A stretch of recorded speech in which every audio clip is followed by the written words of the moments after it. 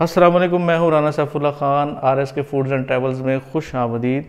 मेरे व्यूवर्स, आज बनाएँगे बहुत ही मज़ेदार किस्म की कड़ी जिसे खाने वाला कहेगा, वाह, क्या कड़ी बनाई है? कड़ी में डलने वाले पकोड़े मैं आपको बताऊँगा कि पकोड़े मैं किस तरह से बनाता हूँ, क्योंकि कड़ी बनेगी आज मेरे तरीके से। कड़ी को बघार कैसे लगेगा? कड़ी को कितनी देर काटना है, कितनी देर पकाना है, ये सारा प्रोसेस मैं आपको दिखाऊँगा। वीडियो को मुकम्मल देखिएगा मेरे YouTube चैनल को सब्सक्राइब कर दीजिएगा, बेल आइकन को प्रेस कर दीजिएगा, ऑल पर क्लिक कर दीजिएगा ताकि मेरी तमाम तर वीडियोस आप तक पहुँचती रहे। तो मेरे व्यूवर्स, वेट ख़त्म है, स्टार्ट करते हैं। मेरे व्यूवर्स, यहाँ पे आपने बहुत ही गौर से देखना और सुनना है तमाम प्रोसेस क्योंकि बहुत ही टेक्निकल चीज़ें सामने आने वाली हैं। विस्क करेंगे, एक किलो दही में छः गिलास पानी के डालकर। आप ब्लेंडर के साथ ब्लेंड कर सकते हैं इसको।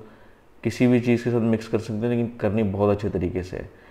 तो एक किलो दही में मैंने छः गिलास पानी के ऐड किए हैं। इसके अलावा मेरे पास बेसन है, जो कि आधा किलो है। 500 ग्राम बेसन ले लेना खड़े मसाले हैं, जिसमें काली मिर्च है, दालचीनी के दो टुकड़े हैं, ज़ीरा है, तेज़ पत्ता है। ये खड़े मसाले किस वक्त ऐड करने हैं, ये तमाम तर प्रोसेस मैं आपको आगे चल के दिखाने वाला हूँ।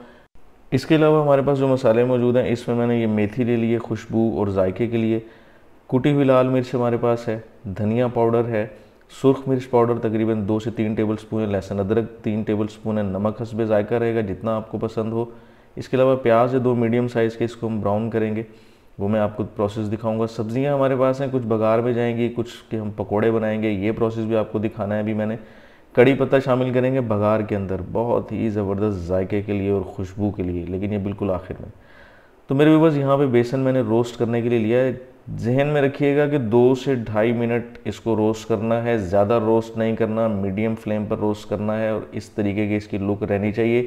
काला नहीं होना चाहिए, बहुत ज़्यादा नहीं करना। इसके अंदर हम पानी शामिल कर देंगे। ये छः गिलास पानी है एक जग में। छः गिलास पानी इसमें ऐड करेंगे। यहाँ भी मैं आपको बता दूँ कि इसको आप विस्क करेंगे, किसी बीटर के ज़रिए से भी कर सकते हैं। विस्क की मदद से भी आप इसको अच्छे तरीके से मिक्स कर सकते हैं। इसमें कोई किसी किस्म की गुठलियाँ नहीं रहनी चाहिए बेसन की। मिक्स कर चुके हैं हम सारा पानी बेसन के अंदर। इसके अलावा हम इसके अंदर हल्दी पाउडर शामिल कर देंगे तकरीबन एक टेबल स्पून के करीब रंगत के लिए और जायके के लिए। हल्दी इसके अंदर शामिल करेंगे। बहुत ही ज़बरदस्त इन्ग्रीडियंट है। इसको ज़रूर आप शामिल करिएगा जब आप कड़ी बनाएँगे। यहाँ पे हम एक कप ऑयल ले लेंगे। ऑयल को अच्छे तरीके से गर्म करेंगे क्योंकि हमने इसमें भी प्याज फ्राई करना है, लेकिन बहुत ज़्यादा फ्राई नहीं करना, बहुत ज़्यादा ब्राउन नहीं करना। दो मीडियम साइज़ के प्याज इसमें शामिल कर देते हैं।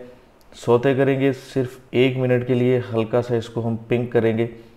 बहुत ज़्यादा मैंने आपको बताया कि इसको ब्राउन करने की ज़रूरत नहीं, वरना कड़ी काली हो जाएगी और उसका टेस्ट भी चेंज हो जाएगा। लहसुन अदरक का पेस्ट इसमें शामिल कर देंगे।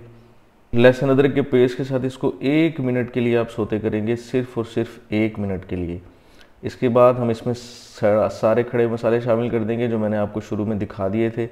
खड़े मसाले डालने के बाद भी सिर्फ़ एक मिनट आप इसको देंगे, एक मिनट के लिए आप इसको सोटे करें ताकि ये खड़े मसाले इसके अंदर शामिल हो जाएँ, इनकी खुशबू इसके अंदर आ जाए। इसके अलावा हमारे पास पाउडर मसाले जो रखे थे, वो तमाम इसमें हम शामिल कर देंगे। यहाँ पर भी मेरे व्यूवर्स, हम इसके अंदर नमक शामिल करने के बाद सिर्फ़ और सिर्फ़ एक मिनट के लिए इन मसालों को मिक्स करेंगे। बहुत ज़्यादा देर तक इस मसाले को काला नहीं करना, बहुत ज़्यादा देर तक नहीं पकाना। एक मिनट के लिए सिर्फ़ हम मसाले मिक्स करने के लिए इसको फ्राई करेंगे, इसको सोते करेंगे, अच्छी तरह से मसाले मिक्स कर देंगे। ये देखिए, इस तरह से जो रंगत रहेगी बहुत ही ज़बरदस्त एंड में कड़ी की रंगत बनेगी और अगर यहाँ मसाले जलेंगे, प्याज जलेगा तो एंड में कड़ी की रंगत बिल्कुल ख़राब हो जाएगी। तो यहाँ हमारे पास जो दही रखी हुई थी, वो हम इसके अंदर मिक्स कर देंगे। दही मिक्स करने के बाद भी आपने सिर्फ़ एक से दो मिनट इसके अंदर अच्छे तरीके से दही को मिक्स करना है, ताकि मसाले इसके अंदर शामिल हो जाएँ। यहाँ दोस्तों, फिर से हम छः गिलास के करीब पानी ऐड करेंगे। पानी की क्वांटिटी मैं आपको बार बार इसलिए दिखा रहा हूँ कि आप किस मरहले पर कितना पानी ऐड करेंगे, वो ये जहन में रखते हुए आप भी इसी तरह से कड़ी बनाएँगे तो बहुत ही ज़बरदस्त, बहुत ही शानदार बनेगी। अच्छे तरीके से पानी को इसके अंदर मिक्स कर लेंगे। मसाले भी ऐड हो चुके हैं, पाउडर मसाले ऐड हो चुके हैं, यहाँ पे हम हरी मिर्चों का पेस्ट, जो तकरीबन दो से तीन टेबल स्पून है, वो भी मैंने ऐड कर दिया है। इसके साथ फिर से मिक्सिंग कर लेंगे। अच्छे तरीके से दही और मसाले ऐड हो चुके हैं, मिल चुके हैं। अब हम बेसन इसमें शामिल करेंगे, जो मैंने आपको पहले ही दिखा दिया था, जिसमें हमने आधा किलो बेसन के अंदर छः गिलास पानी के ऐड करके, अच्छे तरीके से विस्क करके जो हमने पहले ही रख दिया था, वो तमाम तर बेसन हम इसके अंदर शामिल कर देंगे। ये देखिए, इसी तरह से टाइम का ख्याल रखते हुए बहुत जल्दी जल्दी ये सब चीज़ें ऐड होंगी, बहुत ज़्यादा देर किसी चीज़ को नहीं पकाएँगे।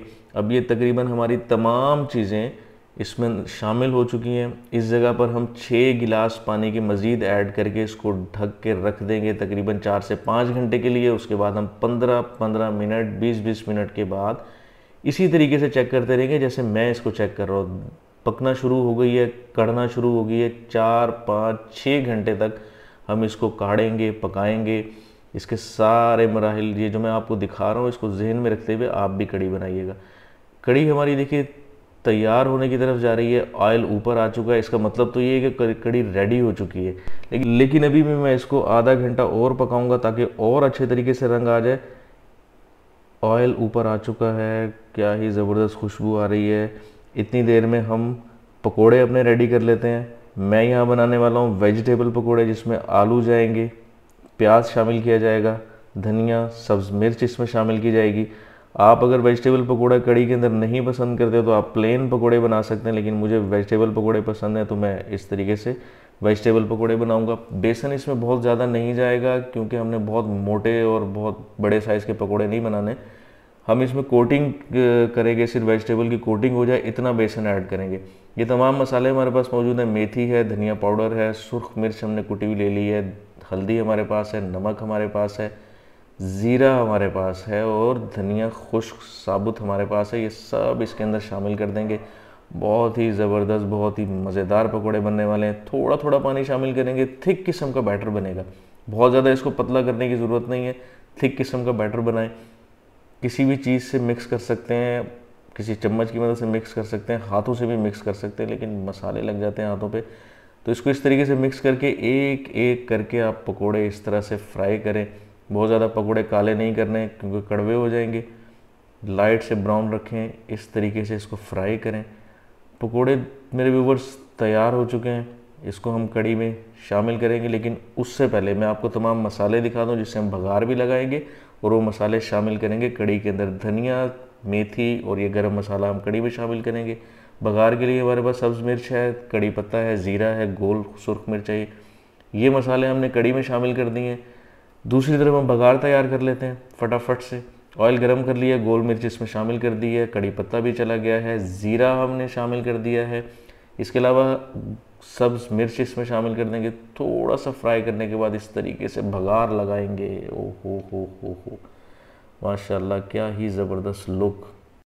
मेरे व्यूवर्स, कड़ी को सर्व करने का वक्त आ चुका है। किसी अच्छे से बॉल के अंदर आप इसको निकालें। क्या ही ज़बरदस्त खुशबू, क्या ही ज़बरदस्त जायका। मखमली, मलाई किस्म की कड़ी तैयार हो चुकी है।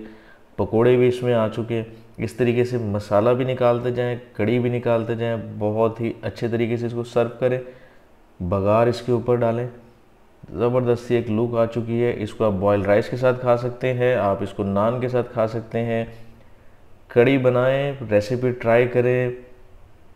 कमेंट कीजिएगा, वीडियो को लाइक कीजिएगा। इसी तरीके से आप मेरी वीडियोस को देखते रहिए, अपना बहुत ज़्यादा ख्याल रखिए। इन ताला आपसे अगले व्लॉग में मुलाकात होती है। तब तक के लिए इजाज़त। अल्लाह हाफिज़।